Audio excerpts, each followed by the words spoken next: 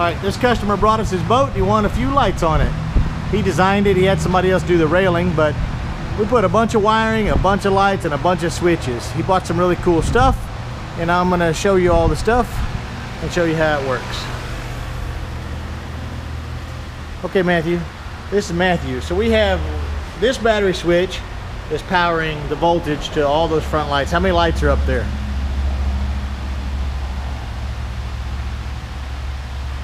Fourteen, fifteen.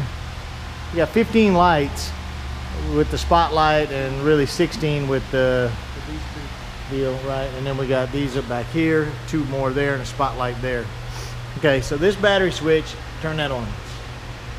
That powers the front ones. Okay, turn the yellow lights on up here. So we got the switch panel up there. And that turns these yellow lights on. So we have uh, three yellow lights on each side on the bottom rows. Okay, turn the white lights on. Whoa, that's bright. So that's the white lights. We got four white lights. These are all LED. And then we have the yellow lights on the bottom. So four white lights on the top each side. And then we can turn the yellow ones off. And you can turn them into white. And now they're white. So now you have seven really white lights on the front uh, that are running on one switch panel. Now there's a relay box, which I'm gonna go around here and show you. Underneath this hatch down in here is a relay box.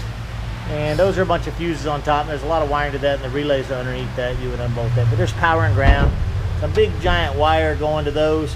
And that wire is running from that battery switch in the back. Go ahead and turn those off, Matthew.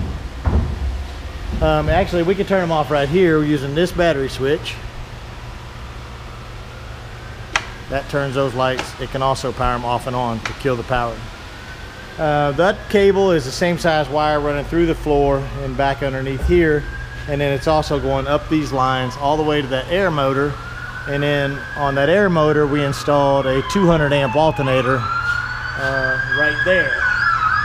So that's a brand new 200 amp alternator and a nice big heavy number one wire going from there down all the way to the front, the switch and so forth, so on. Underneath here, we went ahead and added an additional battery switch uh, for the engine and gave it two batteries, which are over there.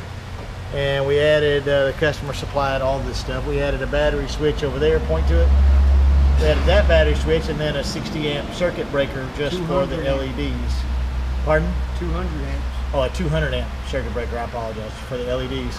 Inside of this box right here, we added a Blue Top Optima.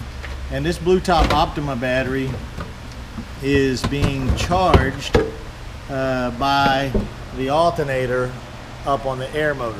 so when you run the air motor, it's going to charge this battery and all the front LEDs up there are running off of that. Now we have this remote control spotlight, searchlight, and we have two LED light bars up here, which we're going to turn on.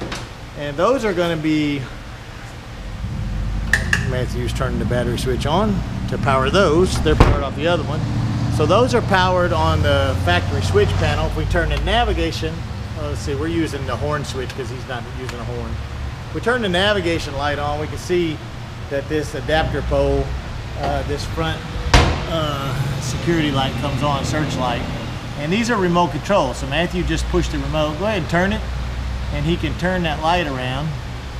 And you can use it for a search via remote control.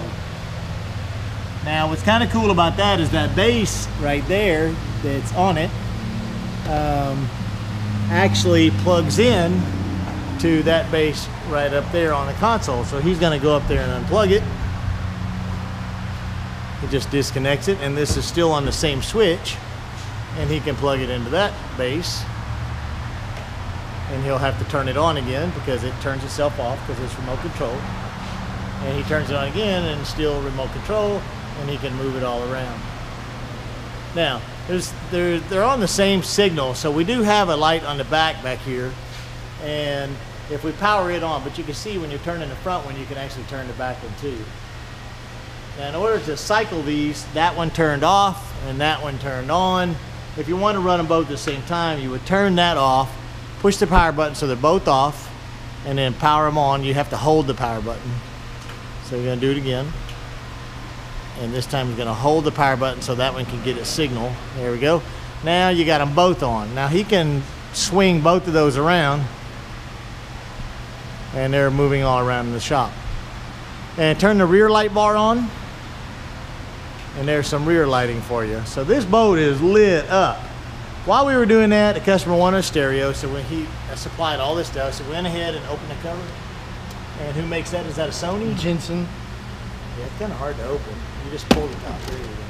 It's who? Jensen makes Jensen. the radio so we got cover. a Jensen Marine, The box is Jensen. The radio is Sony. a Sony radio with a Jensen waterproof box. And we went ahead and added four speakers, one there, one on the other side of his feet, and then we've got two up front right there. Turn it on. There's the customer. Turn it on. Radio. And the customer's showing up right now. Just- okay. Anyway, that's it. I wanted to do this video to show Mike everything working, but he's here now, so we're going to show him that it is working.